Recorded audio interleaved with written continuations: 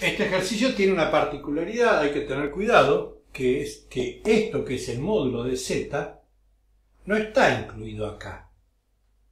¿Sí? No está incluido, perdón, no está incluido en la potencia 15.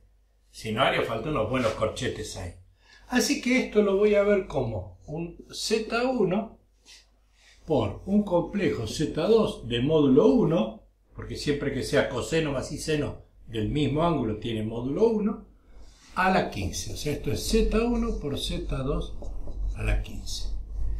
Z1 resulta que es 3 más 0i, lo represento, 1, 2, 3, tiene módulo 3, ni cuentas hacen falta para esto, y el argumento de Z1 es 0.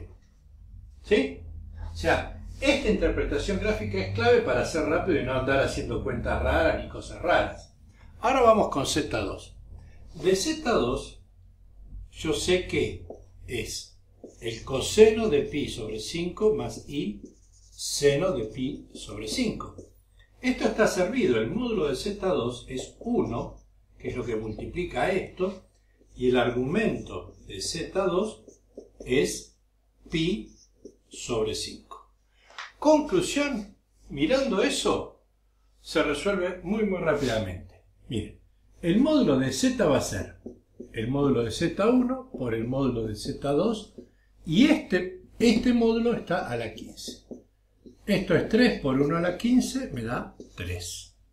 Y el argumento de z será el argumento de z1 más el argumento de z2 a la 15. ¿Sí? Ojo, porque cuando hablábamos de argumentos, el exponente pasaba acá adelante, 15 veces el argumento de Z2. ¿sí? Esto es como que yo lo veía así. A ver. Em, coseno de pi sobre 5 más i seno de pi sobre 5 toda la 15 lo único que tenía que hacer era meter este exponente acá y acá.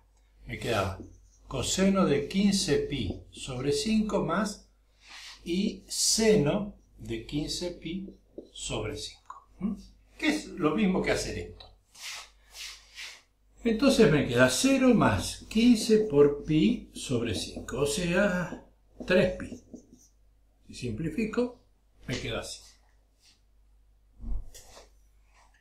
Entonces, mi complejo z es el módulo de z 3 por. Y uso este argumento.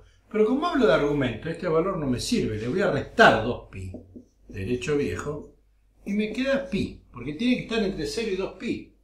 ¿Estamos? A esta altura yo lo pongo directamente así, aunque alguien podría decir, no, esto no es igual a esto. No, pero es equivalente cuando hablamos de argumentos 3pi es equivalente a 3pi más o menos 2pi por un entero k. Muy bien, me queda 3 por el coseno de pi más i por el seno de pi. Y ahora busco la forma binómica. Coseno de pi es menos 1 y seno de pi es 0. O sea que todo esto me queda menos 3 más 0i. Esa es la forma binómica de este complejo, que es directamente real menos 3. Muy bien, hasta el próximo video.